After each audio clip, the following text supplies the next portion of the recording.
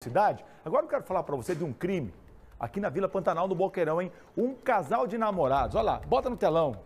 Casal bonito, jovem, né, gente? Pois é, o detalhe. E aí o que aconteceu? Esse casal, então, acabou morrendo. Esse casal acabou morrendo ali na Vila Pantanal de forma violenta. E a informação que chega para mim, vamos ver o nome dos dois aqui? O Alan Rodrigues, 23 anos, e ela, a Fernanda. Estavam juntos há algum tempo. Uma adolescente, gente, com 16 anos de idade, a Fernanda. Estavam juntos. E aí, o que acontece, gente? Que a motivação pode estar relacionada à vida que o Alan levava.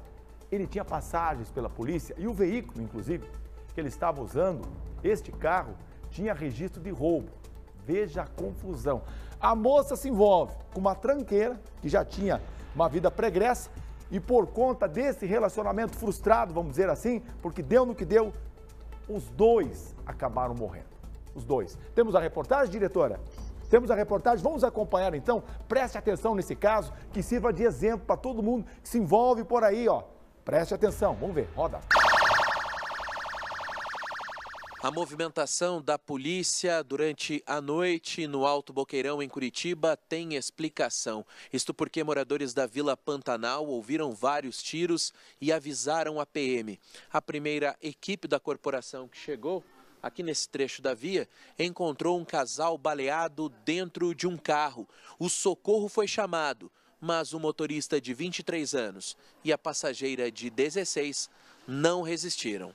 Alan Rodrigo Domingues da Silva era quem estava no banco do passageiro e seria o principal alvo do assassino.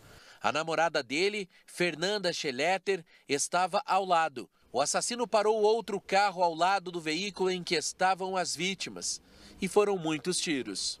Bastante tiros né, no corpo, bastante na, na face do, do, masculino, daí no corpo, nas pernas, no dorso da, da feminino, né?